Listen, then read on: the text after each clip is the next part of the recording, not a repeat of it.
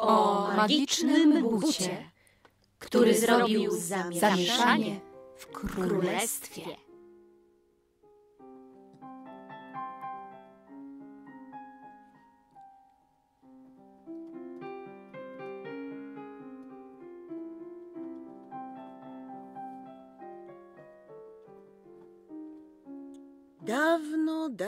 Temu, za górami, za lasami, no bo gdzieżby indziej, było sobie pewne królestwo, którym władał, a jakże, król.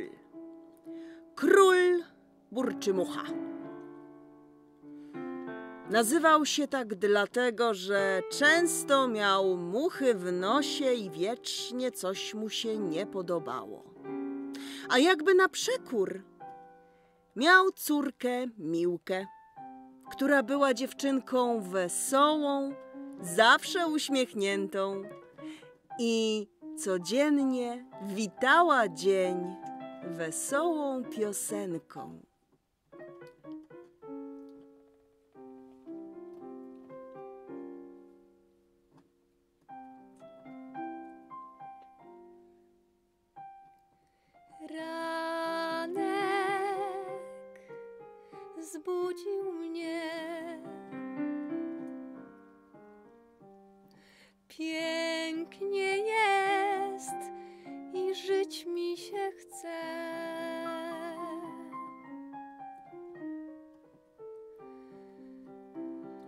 Spacer o tej porze.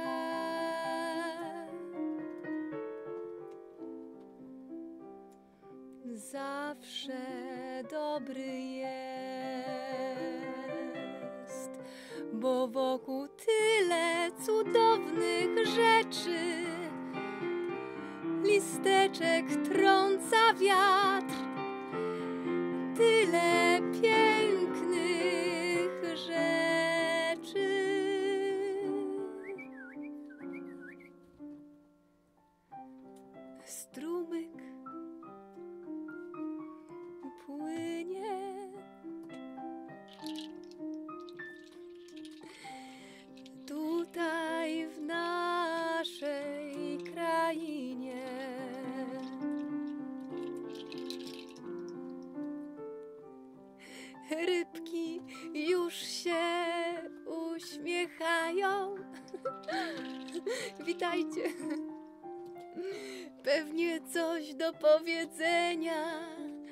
dzisiaj mają.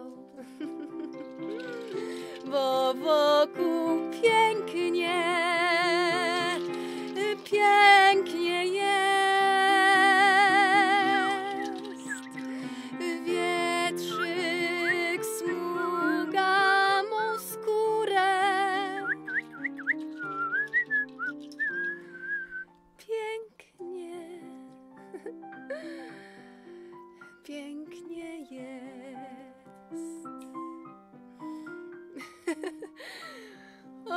Oj, rybeczki, już od samego rana tak pluskacie się i wyskakujecie. A nad rzeczką siedział sobie mały Gabryś, przyjaciel Miłki. Miłka, O, już jesteś. Miłka, mam pomysł. Pogramy gdzieś w podchody? Podchody. Jejku, jakie ty masz fantastyczne pomysły! Gabryś! Zobacz, mam nawet kredę i patyki, żeby zaznaczać strzałki. Kreda, jak ją zdobyłeś? Przecież to nie jest taka prosta rzecz. No wiem. Świetnie. Będzie dzisiaj dzień pełen zabawy. Nie mogę się doczekać. A o której ta twoja niania zawoła cię na śniadanie? Królewno! O, O nie. No właśnie, teraz. Królewno! Tak, nianiu? Chodź prędziutko, przecież dobrze wiesz, że dziś jest specjalny dzień. Twój tata wyraźnie powiedział, żebyś się nie spóźniała. O rety, zapomniałam. A co? No przecież dzisiaj jest bal z okazji pierwszego dnia wiosny. Nie mogę się spóźnić, bo muszę się przygotować, a... A mój tata jak zwykle marudzi od rana i mówi, że nic nie wyjdzie. Królewno, błagam. Muszę pędzić, Gabryś. Ale przyjdziesz po śniadaniu. Nie wiem, czy uda mi się dzisiaj. Miłka, podchody. A może? A może przyjdziesz na bal? Ale to muszę tak po cichu. Królewno! Ajajajajaj. Postaram się. Dobra, Puść mnie tylnymi drzwiami. dobra, okej. O dwunastej. Nie, no to na pewno nie wyjdzie. Nie uda się tym razem.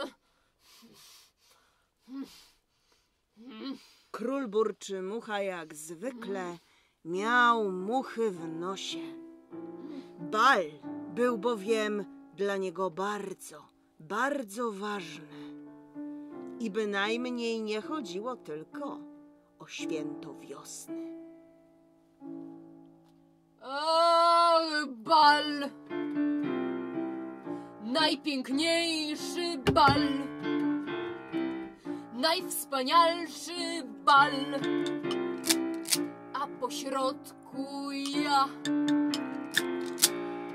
Ach, bal! Najpiękniejszy bal! Najwspanialszy bal! a po środku. No co to za bałagan? Bal! Najwspanialszy ze wszystkich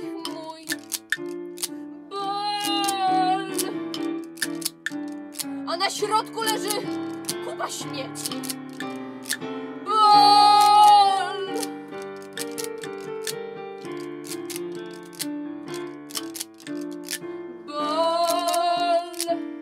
W którym każdy wie.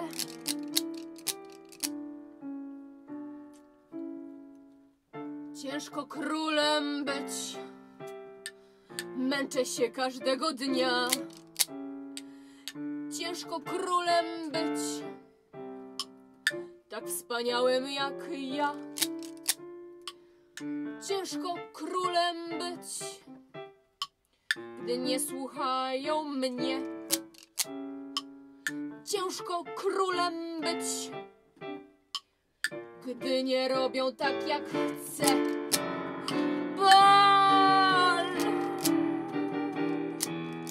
Pokazuje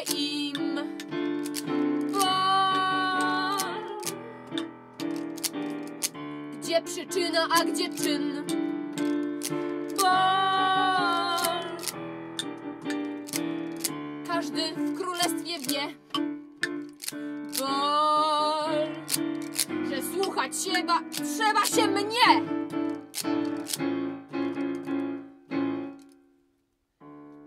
W tę wyjątkową noc wszyscy mieszkańcy zobaczą, że nie ma co sprzeciwiać mi się w tę wyjątkową noc. Wszyscy zobaczą. Gdy na nogi swoje założę złote trzewiki te, to będzie ukoronowanie. To będzie najwspanialsze insygnium królewskie. To pokaże wszystkim wokół, że władcą jestem ja!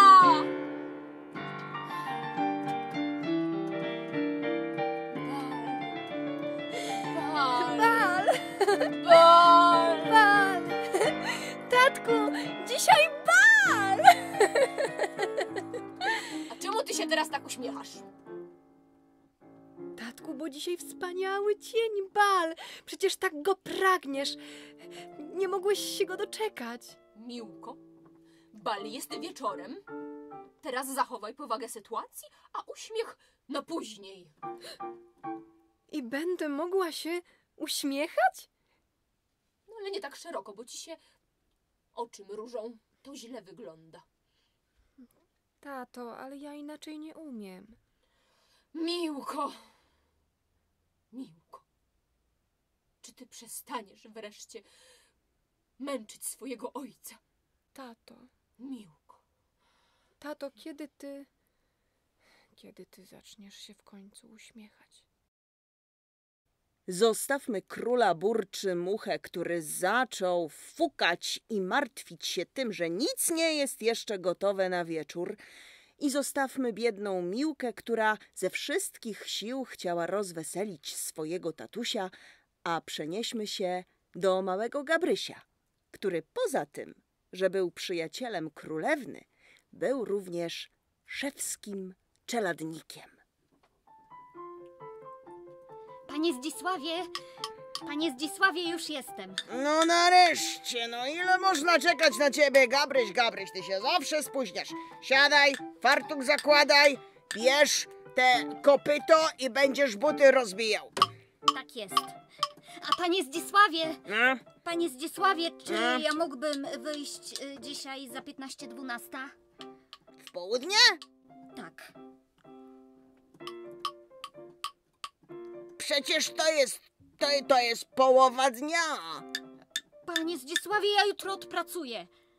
Mogę jutro nawet siedzieć całą noc, ale nie dziś. Co jest dziś takie... A, bal. Gabryś, Gabryś, ja ci powtarzam. Raz po raz. Ty się na szewca uczysz. Ty się nie pchaj na salon królewski, to nie dla ciebie. Panie Zdzisławie, ale ważna sprawa, podchody. Jak to podchody? No, podchody z Miłką. Będziemy się razem bawić. Chłopcze, ty sobie nawet nie wyobrażaj, że ona się będzie z tobą w cokolwiek bawić. To jest królewna. Ona teraz to może i jest dla ciebie miła, bo jest miła dla wszystkich, ale dzisiaj będzie miała lepsze rzeczy do roboty niż bawienie się z takim obdartusem jak ty. Ale właśnie dzisiaj mogę wejść do zamku tylnym wyjściem, bo będzie brama otwarta. Oj, Gabryś, widzę, że cię nie przekonam. Dobra, dobra, poczekaj. Masz tutaj. Ach, masz tutaj pakunek dla króla. Sam miałem zanieść, bo król czeka na swoje super złote trzewiki. Tylko Gabryś, zaklinam cię na wszelkie świętości. Jak coś się stanie z tymi butami, to mnie z torbami puścisz. To jest szczere złoto, słyszałeś? Panie Zdzisławie, będę ich pilnował bardziej jak własnej matki. No to I psa burka. dobra, odłóż już te kopyto i się skup, bo ty jesteś drapichruście jeden roztargniony. Słuchaj, co mówię. Weź te buty i je prosto nieś na zamek. Nie zatrzymuj z nimi nigdzie się. Nie otwieraj tego pudełka, żebyś ich nie pogubił gdzieś.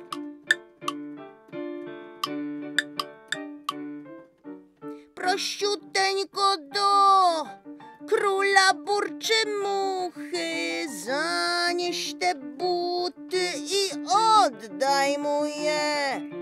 Powiedz, że mistrz Zdzisław już je poprawił oddać je chce. No rozumiesz, co masz zrobić, Gabryś? Tak jest, panie Zdzisławie. Nie zawiodę pana. No mam nadzieję, bo to jest bardzo ważne. Ja bym tutaj był skończony. Słowo Gabrysia. No, no. To bierz te buty i czmykaj prościutko do zamku. Dziękuję. No, baw się dobrze. Do zobaczenia.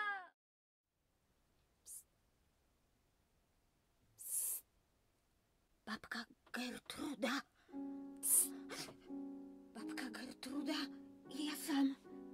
Jej ogromnie długi nos.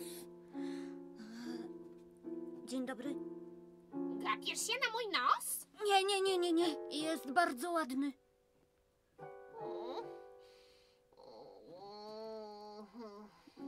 Pani babko, ja muszę lecieć. Znowu pewnie spóźniony. E, A, nie, nie, dziś mam ważną misję. E, Dziś mam ważną misję. Biegnę do zamku, do, do króla. Do króla. Tak, dziś jest bala, ja muszę zdążyć dostarczyć mu złote buty. Złote buty Złote. do króla. Tak, do, do, do króla. Króla burczy mochy. Tak, do kró- króla burczymuchy. A co?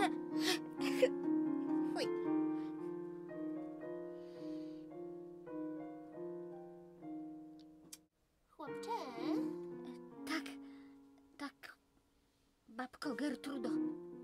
no podejdź tu, nie cofaj się.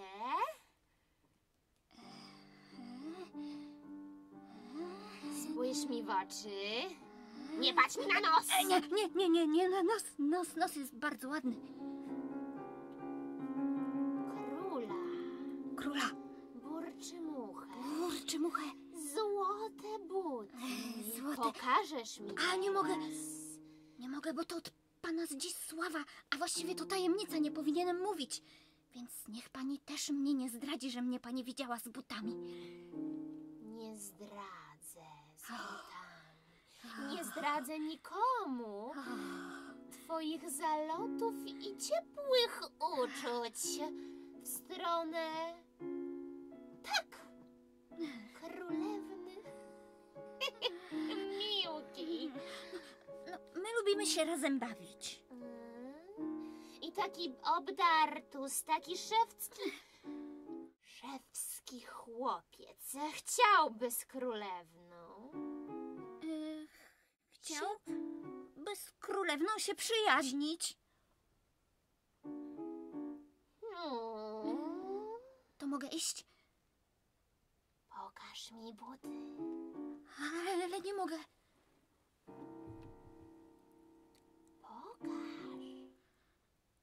Ale tylko z daleka. Mhm.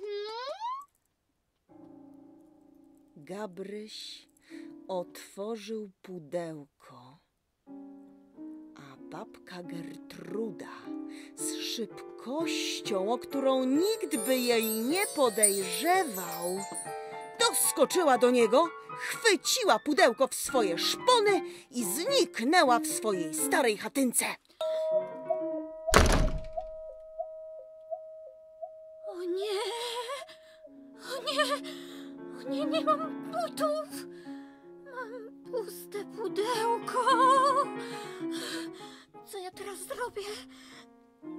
Mogę wrócić do pana Zdzisława! Co ja powiem? Chyba muszę uciekać. I biedny Gabryś rzucił się przed siebie, biegnąc dokąd go oczy poniosą.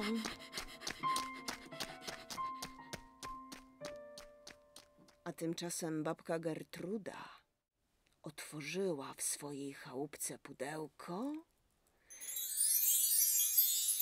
wyciągnęła szczero złote buty i...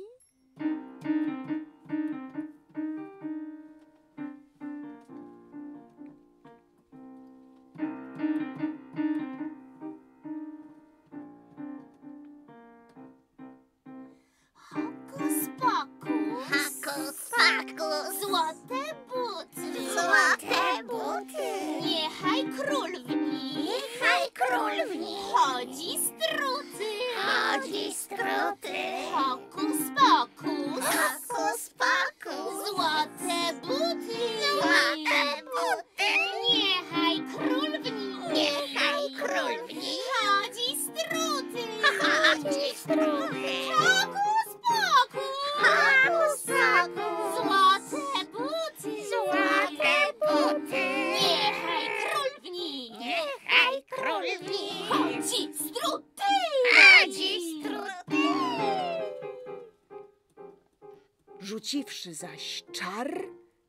Spakowała buty z powrotem do pudełka, po czym przywołała swoje wierne, służące jej czarne wrony i rozkazała.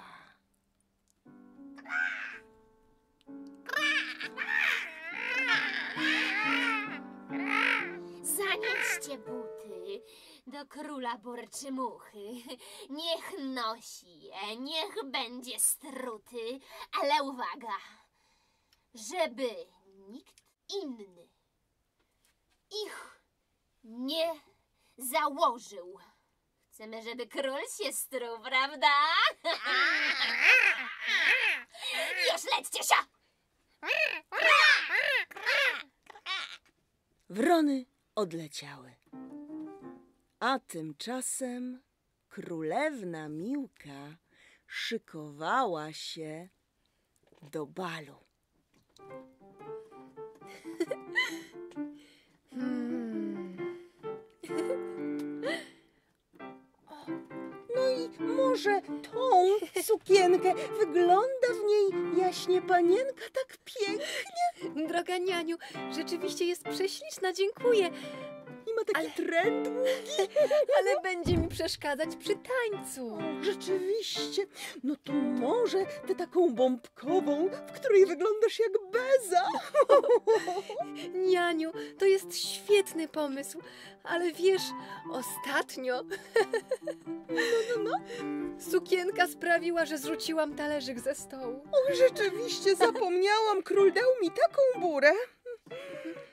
Nianiu, Tak, a może tę turkusową z koroneczkami? tę króciutką przedkolanką, tę z takimi drobniutkimi kwiatkami haftowanymi na dekolcie.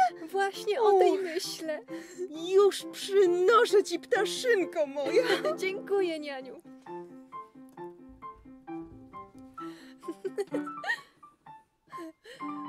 Jejku, jakie dzisiaj piękne chmurki, jakie obłoczki.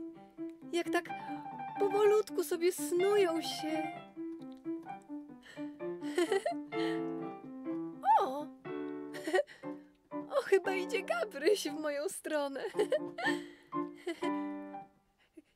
Gabrysiu! Gabrysiu!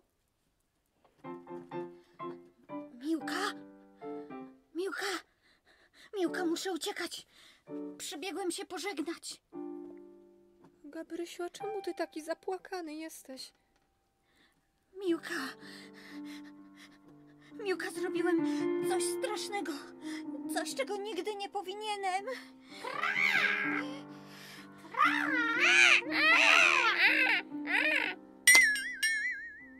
O! A co to spadło? Coś wypadło tym wronom. Pudełko! To znaczy, że jestem uratowany. Pudełko. To teraz mogę ci wszystko opowiedzieć. To mów szybciutko. Biegłem z butami złotymi od pana Zdzisława. Wiesz, od mojego. od mojego szewca. No i spotkałem babkę Gertrudę. Wow. Chciała zobaczyć, co mam w środku. Otworzyłem na chwilę buty, one zniknęły, ale widzę, że dobre wrony pomogły mi je odzyskać. Och, całe szczęście widzisz, wszystko dobrze się skończyło, kochany. I, I teraz mam buty dla twojego taty. E, pomożesz mi się wdrapać, żebym mógł jemu dostarczyć? No pewnie. Znam tajemne przejście, że nie, nie będziesz musiał się wdrapywać. A. Czyli którędy mam iść? Przez piwnicę. I poszli. Król Burczymucha tymczasem był coraz bardziej rozgniewany i zirytowany.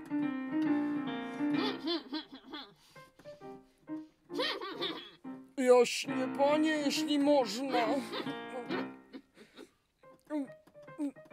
Tutaj jest odświeżona peleryna.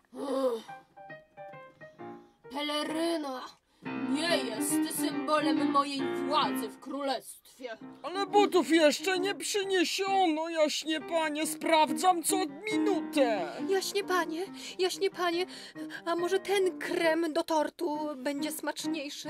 Niech jaśnie pan spróbuje. Jest słodki. Krem nie jest symbolem mojej władzy w tym królestwie. Ale jaśnie panie, no nie mam butów, sprawdzam co minutę.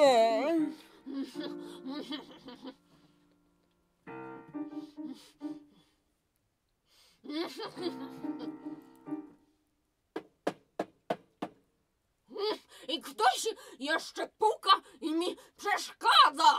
Już otwieram, jaśnie panie, już otwieram. Jaśnie panie, to posłaniec od szewca. Dzień dobry, wasza królewska mości wysokość y, tron. Nie tak. Dzień dobry, wasza królewskość. Dzień dobry, wasza burczymuchość. E, Przyniosłem buty od e, szewca Zdzisława. E, Złote, tak jak pan prosił. Miłka, a co ty tu robisz? Tato, ciekawość mnie zżera. Proszę, pokaż mi te buty, złote buty. A czemu dla mnie takich nie zrobiłeś? Miłko, możesz popatrzeć, ale...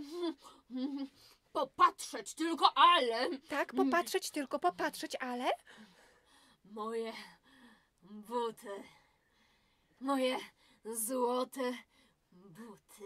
Otwórz, proszę, otwórz pudełko. Moje buty władcy. Burczymucha otworzył pudełko i blask wspaniałych butów olśnił całą komnatę. Tatusiu, one są przepiękne. Ja muszę je nałożyć. Muszę, muszę, już, już, tak, ojejku, one pasują na moją nóżkę. Na drugą też pasują. Zanim król zdołał powstrzymać swoją córkę, Miłka zabrała jeden z butów i wsadziła go na swoją stópkę. I nagle stało się coś dziwnego. Uśmiech zniknął z jej twarzy, a pojawił się grymas złości. Spokój, złote Buty niech nosiciel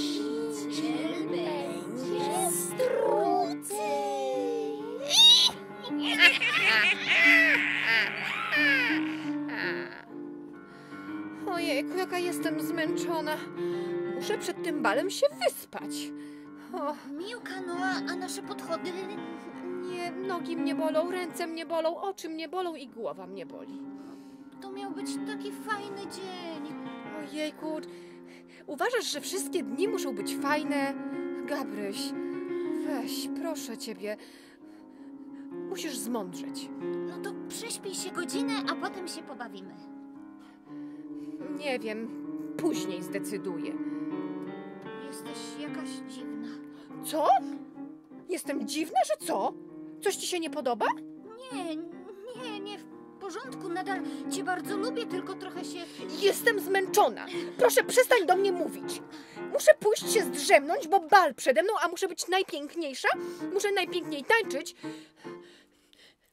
No, koniec rozmowy. Chcesz, żebym sobie poszedł? Ale Miłka już nie słuchała. Odwróciła się na pięcie i zniknęła za drzwiami jednej z komnat. A ponieważ król Burczymucha również nie zamierzał konwersować z małym szewskim czeladnikiem, Gabryś został sam w wielkim zamku i nie bardzo wiedział, co ze sobą zrobić.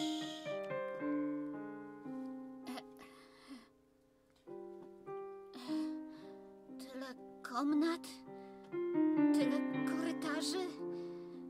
Nie mam miłki. Król nie będzie ze mną rozmawiał. Muszę się chyba jakoś stąd spróbować wydostać.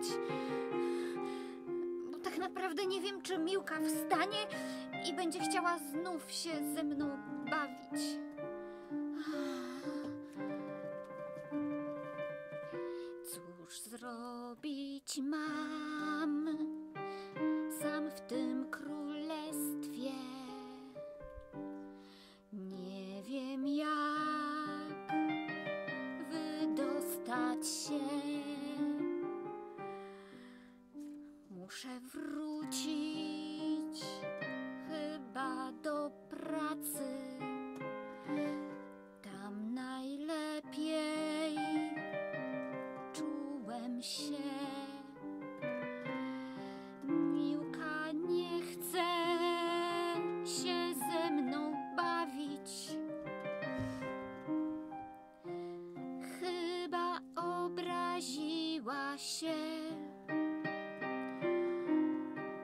Choć nic złego jej nie zrobiłem.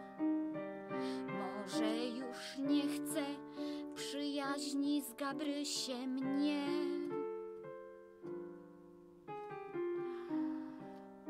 I Gabryś poszedł sobie z powrotem do swojego majstra. A w zamku zaczęło dziać się nie najlepiej.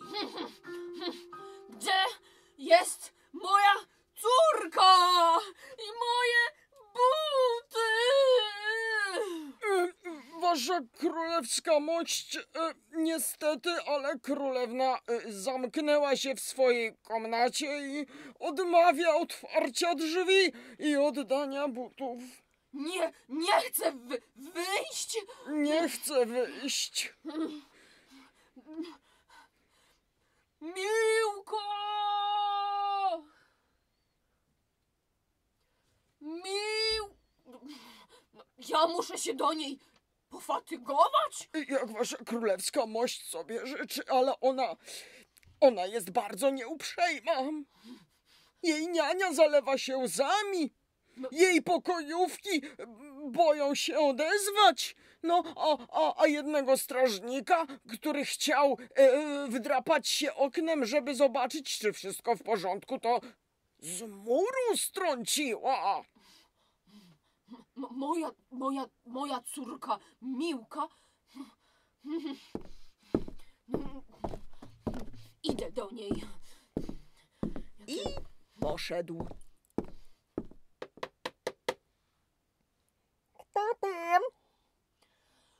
Otwórz, córko. Król. A po co mam ci otwierać, tato? Miłko. Czego? Mi- Miłko. O, otwórz. Co chcesz ode mnie? Moje złote buty. Nie oddam.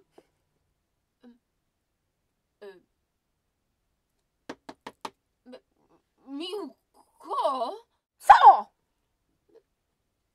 M- moje buty? Najpierw spraw, żeby te poduszki były miększe, bo mnie boli kark.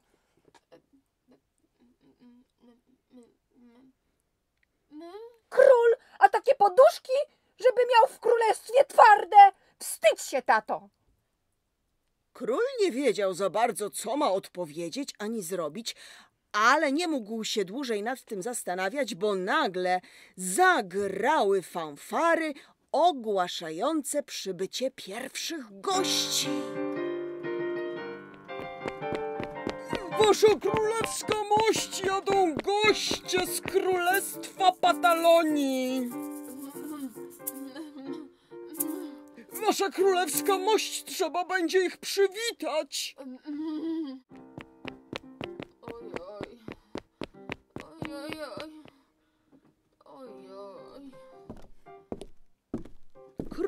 Poszedł, jak niepyszny, a tymczasem zaczęli zjeżdżać się kolejni wielmoże.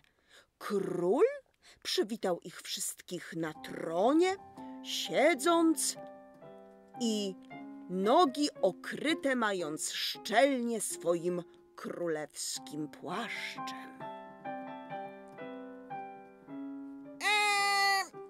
A gdzie waszej wysokości córka? Mój syn nie może się doczekać, żeby ją poznać. O, mój też stoi w kolejce. No i był pierwszy, O. jaśnie panie. Zobaczymy, którego wybierze. O, nie, nie, nie, nie, nie. My y, przecież jesteśmy już posłowie. Mój będzie pierwszy. No, posłowie, nie posłowie, ale mój synek jest naprawdę przepiękny. Wasza wysokość, no A to co już tam? czas. A No co gdzie, przepiękność? Mój jest ma męstwo, Królewna, gdzie odwagę.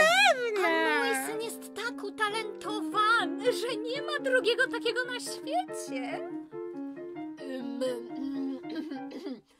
Królewna y, y, źle, y, źle się czuje. No jak? Y, Królewna źle się czuje, ym, odpoczywa w komnacie i miejmy nadzieję, że nie przyjdzie. Ale wasza królewska mość. Tato, jestem.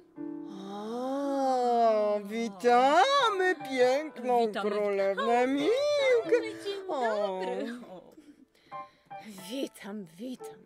Ciekawe, którego wybierze. Przecież wiadomo, że ten, z którym zatańczy królewska córka, nabywa największego znaczenia na dworze. Cały czas mam nadzieję, że to będzie mój syn. Ale sprawy wewnętrzne pomiędzy e, Patalonią a, a królestwem Burczymuchy są bardzo, bardzo napięte. Bardzo by tutaj pomogło. A może to byłby pretekst? Kogo wybierze? Kogo? Miłko, jak y, miło, że przyszłaś. Uśmiechnij się do naszych gości. I to ty mówisz, tato? Pff, Królewna wyglądała jak chmura gradowa, a nos miała zadarty tak wysoko, że wszyscy mogli zobaczyć, jak bardzo jest niezadowolona. Jak oni wszyscy się poubierali? W ogóle gustu nie mają. E, Wasza królewska mość, jestem posłem Patalonii. E, Czy zechciałaby pani zaszczycić mego syna pierwszym tańcem? A zechciała pani by zaszczycić mnie odejściem, bo nieładnie pani pachnie. O, czyżby królewna nie miała dziś humoru? E, Wasza królewska miłkość, e, czy zechciałaby królewna zatańczyć z moim synem? A czy zechciałaby się pani oddalić, bo ma pani bardzo, ale bardzo brzydką sukienkę, aż mnie oczy bolą. Uf! A czy w takim razie zechciałaby pani może zatańczyć z utalentowanym kawalerem? Utalentowany kawaler! Muchę w kropki założył. Co to za styl? Wstyd. Co to za maniery? Kto ją wychowuje? I tak przez cały bal królewna Miłka obraziła wszystkich gości. O! Wasza wysokość, ja wyjeżdżam. To się nie godzi, żeby tak młoda królewna miała takie maniery i tak się odnosiła do nas. Wasza wysokość może zapomnieć o jakimkolwiek traktacie handlowym z Patalonią. Powiem więcej, będę bardzo nalegać, żebyśmy weszli z królestwem Burczymuchy w stan wojny.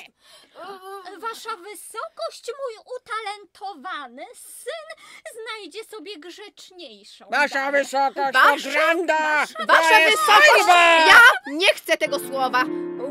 Wszystko y, tamto, co mówiliśmy, jest nieważne.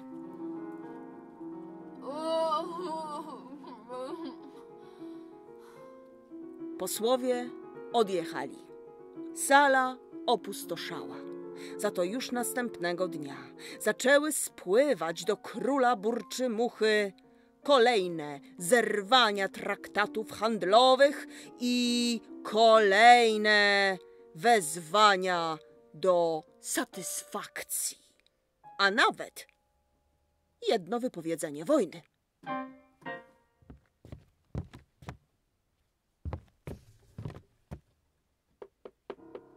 Miłko. Czego? Miłko, tatuś. Słyszę, tato. Pióra kacze też nie są miękkie. Nie jesteśmy w stanie przywieźć ci najpuchlejszego puchu, gdyż Patalonia wypowiedziała nam współpracę handlową. Nie jesteśmy w stanie zapewnić ci większych wygód, bo musimy się szykować na wojnę. Co takiego?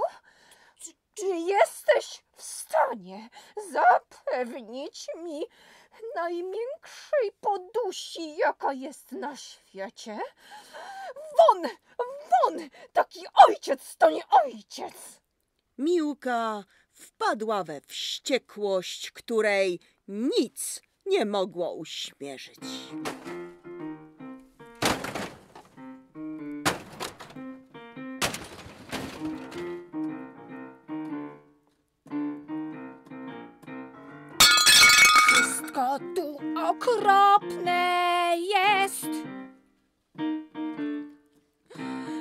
Zamków też, też. Poduszki twarde, że ho, ho. Chyba poddani na nich śpią. Ja chcę miękkości. Ja chcę, żeby wszyscy słuchali mnie. Ja chcę miękkości, miękkich poduszek i żeby wielbili też. Uff. Jaka jestem wściekła.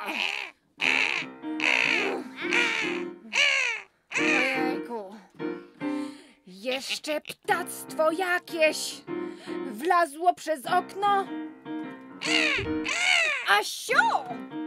Asio! Ojejku, Asio! Ach ty wywrony! Wywrony przebrzydłe! Idźcie!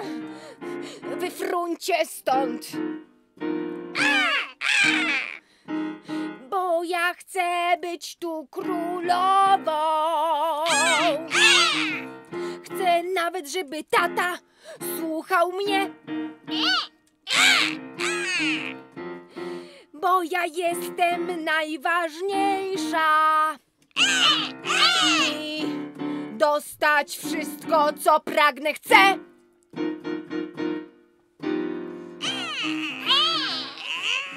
Wszystkie moje sukienki są takie brzydkie? Królewno, proszę nie rzucać znowu! Nie! Rozetrę te koronki. Wrony szpiegowały oczywiście dla babki Gertrudy i zadowolone pofrunęły, żeby zdać jej relację. Ale zauważył je Gabryś, który chodził od czasu przemiany królewny smutny i zatroskany. Zauważył i coś go tknęło. Pobiegł więc za nimi, podkradł się pod okno chatki babki Gertrudy i zaczął podsłuchiwać.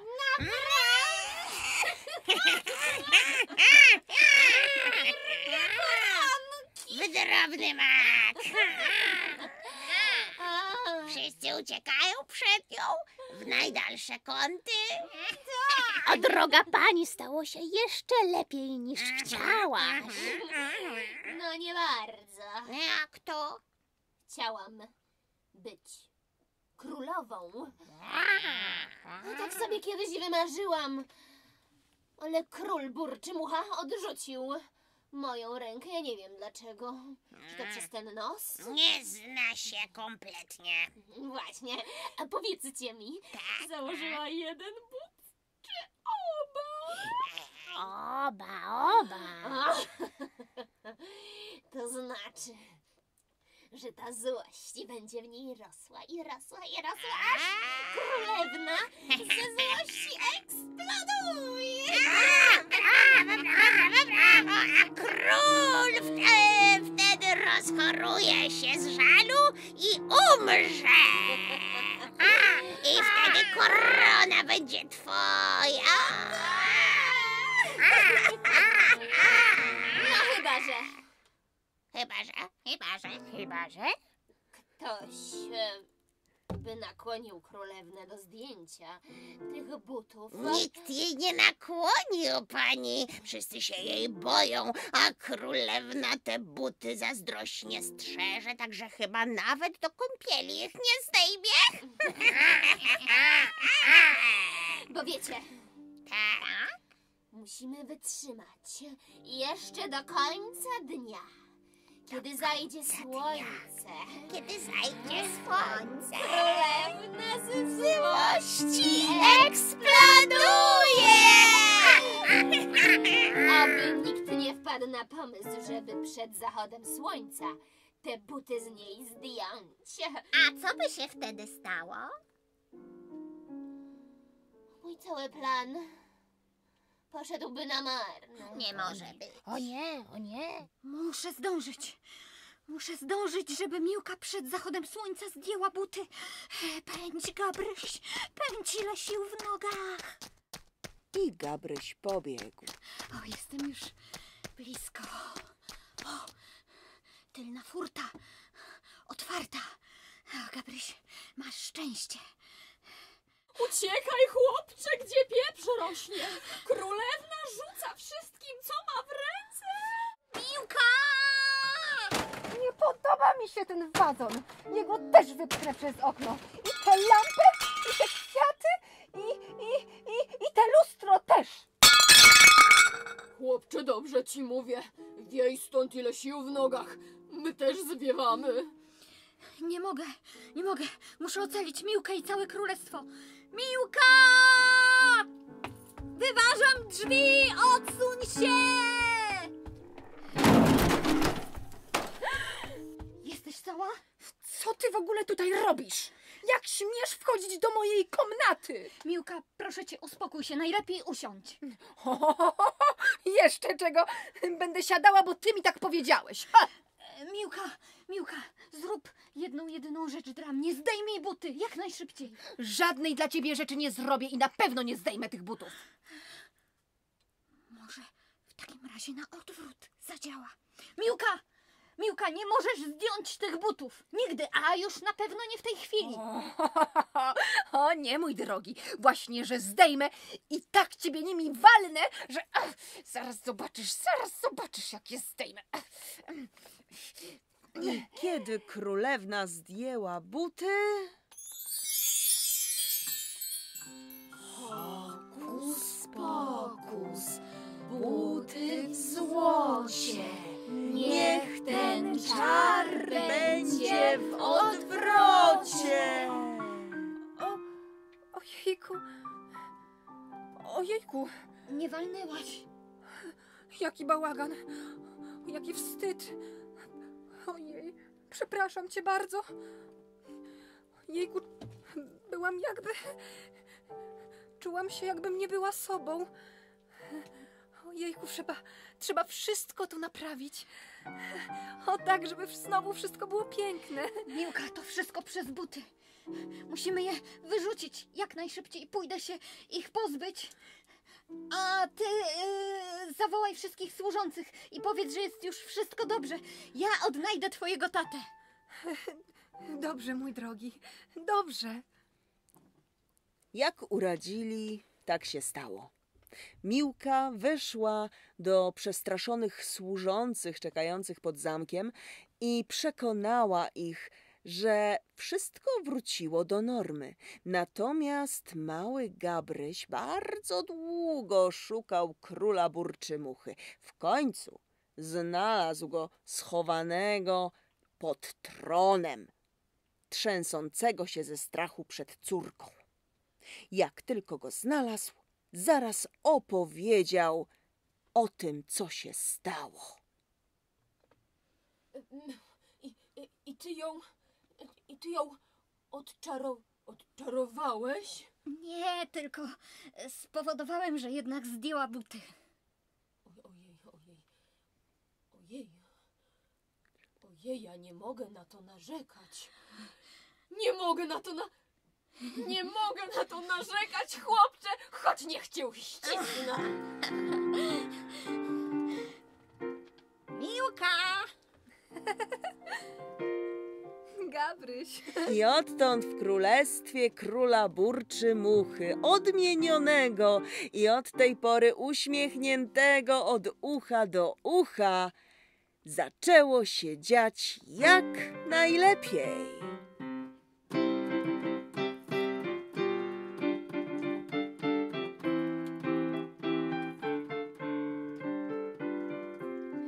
Jakie piękne przed nami dni.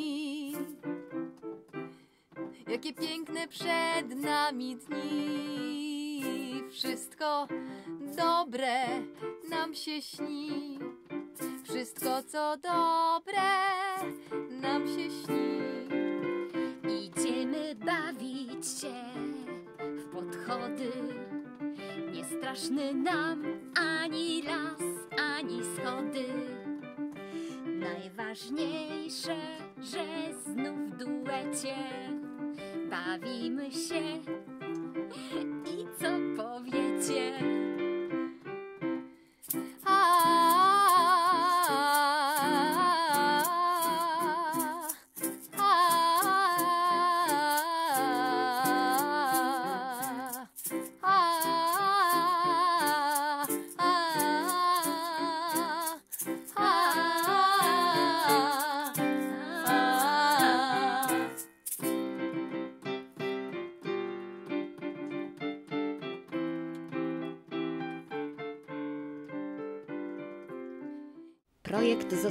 Dofinansowany z Funduszy Miasta Stołecznego Warszawy w ramach programu stypendialnego Mobilni w Kulturze.